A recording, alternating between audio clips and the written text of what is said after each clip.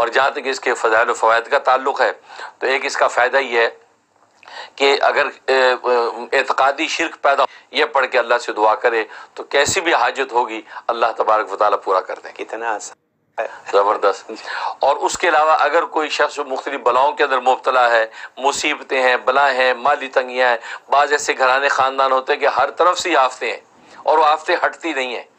और या ये कि नहीं है, डर है कि ये हफ़्ते मुसीबतें बनाएँ, कभी लिपट ना जाएँ तो उनको चाहिए कि रोज़ाना एक सौ एक मरतबा ईशा के बाद ये सूद काफिरून पढ़ा करें, अव्वल, आखिर ग्यारह मरतबा दुरुशिफ के साथ, या हमेशा इसका विद रखें इन किसी किस्म की कोई बला अगर मौजूद है, नहीं रहेगी, और कोई आने वाली बला भी इनके करीब नहीं फटकेगी, ये और भी ख़ानदान पूरा महफूज रहेगा। ज़बरदस्त इसके अंदर ताकत और तासीर है। और एक इसका फ़ायदा ये है कि अगर बच्चा रोता बहुत है बाद बच्चे बिला वजह बहुत रोते हैं। है, कोई ऐसी तकलीफ़ समझ में नहीं आती, दवा दे दी सबको नींद की भी दवा दे दी, नींद भी नहीं आती, उसको रोता है रोता है। उसके लिए इसमें बड़ी तासीर है कि तीन मरतबा रोज़ाना ये सूरज जो है, वो बावजू हालत में पढ़ के बच्चे पे दम करें। दोनों कानों में ज़ोर ज़ोर से तीन फूंके मार दें, चेहरे पे फूंक दें, हाथों पे दम करके चेहरे पे हाथ मल दें। बस।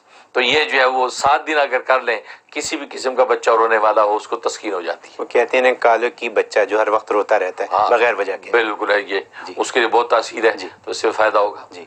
ये तो काफिर और उसके अलावा जो है अगर कोई शख्स जो है वो ये चाहता है कि अल्लाह तबारक व ताली का कुर्ब हासिल करूँ लेकिन हालत यह है कि वो ना नमाज़ में दिल लगता है ना रोज़े में इबादत में सुस्ती है उसको।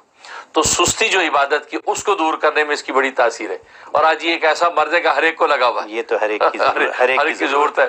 तो ग्यारह मरतबा रोज़ाना ये सोद काफिरों पढ़ के अपने बदन पे दम करें और थोड़ा सा पानी दम करके पी लिया करें और उसके बाद दुआ कर लें कि अल्लाह ये ताहत के अंदर जो मेरी काहली और सुस्ती है इसको दूर कर दे और चुस्ती पैदा कर दे तेरी इबादत वाला बन जाऊँ। तो इंशाल्लाह 21 दिन के अंदर जो है अल्लाह तबारक वताला उसको इबादत की तौफीक दे देंगे। अगर आपसे मैं ये पूछूँ कि फजर की नमाज़ के बाद अगर ये आदमी रोज़ाना ग्यारह दफ़ा पढ़ के दम कर ले अपने ऊपर तो सारा दिन बस बिल्कुल सारा दिन हर रोज बिल्कुल हर रोज की आदत बना लें। बिल्कुल बना बहुत आसान है। वो बड़ी सूरत दी छह आयते हैं।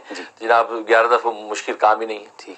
और जहाँ तक ये ख्वाब में ताबीर का ताल्लुक है एक इसका मतलब ये कि ये मुनाफिकीन और कुफार के साथ जो है ये इसका मुकाबला दुश्मनी होगी और उन पर अल्लाह तबारक इसको फतह देंगे। यानी उससे ये मुकालमा हो या वैसे को मुकाबला हो लेकिन कुफार मुशरकिन पर हावी होगा।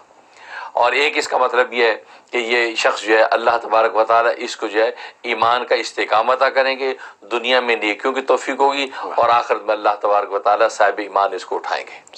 का एक मतलब ये और एक मतलब ये है कि ये शख्स जो है वो अपने कुफर और शिरक और बिदत के हवाले से किसी किस्म की बिदत के अंदर मुबतला नहीं होगा। हाँ भले बिदती लोगों के अंदर रहे भले मुशरकों की बस्ती में रहता हो लेकिन ये अपनी तोहहीद से हटेगा नहीं। अल्लाह इसको तोहहीद पर ही ईमान पर ही इसको मौत देंगे। सुबह तो ये इसके लिए बशारत। बहुत खूब बहुत। हज़रत ये एक ऐसी चीज़ है जिसकी ज़रूरत मुझे है। अल्लाह हम सबको है। सही बात। तो तो हम सबको ये करना चाहिए।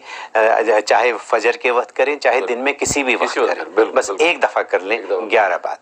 अगर ये ये बात अगर ऐसी हो जाए तो कितनी आसानी हो जाए। हम हर वक्त हमारी दुआ है कि हम नमाज़ सही पढ़ सकें वक्त पे पढ़ सकें। और ऐसी बहुत सी चीज़ें लोग चाहते हैं करना। लेकिन कर नहीं पाते। तो ये करते हैं तो मजबूती हो जाए और अपने बच्चों की मजबूती के लिए खाने के ऊपर दम करके। खिला दें उनको। सब खा लें तो ये वाह वाह सुबह अल्लाह बहुत खूब। हज़रत बड़ी ईमान अफरोज़ बात है और आसान बात है और और ये तो हमारी नमाज़ में हर वक्त पढ़ने वाली सूरत है तो सबको याद भी है आसान।